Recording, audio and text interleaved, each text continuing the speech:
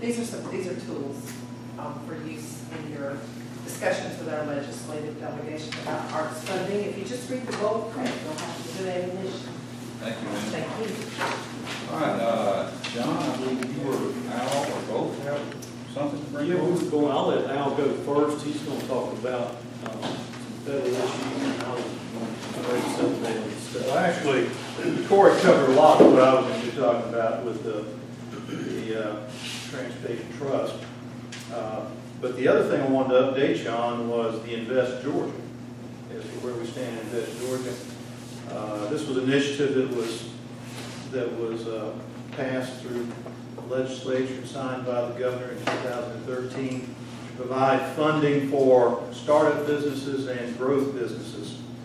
And over the last two years, uh, it, it's starting to take on, uh, uh, some structure. They have a executive director, uh, Knox Massey, that has, has been appointed to that position.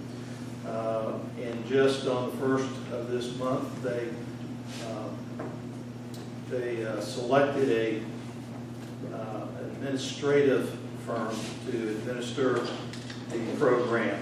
And what this is, it's a legislature over the next uh, five years has said they're going to allocate $100 million to this program. It's a matching program where the the state provides some money and venture capitalists provide the balance of the funds. Uh, The administrative, or I should say, the administrator of this program is a third party that's going to select the joint venture capitalists as well as the projects that they're going to support out there. And I guess uh, the point that they are right now is that they are beginning to write the criteria to be eligible to be a joint venture capitalist participating in this, as well as being an applicant uh, for funds.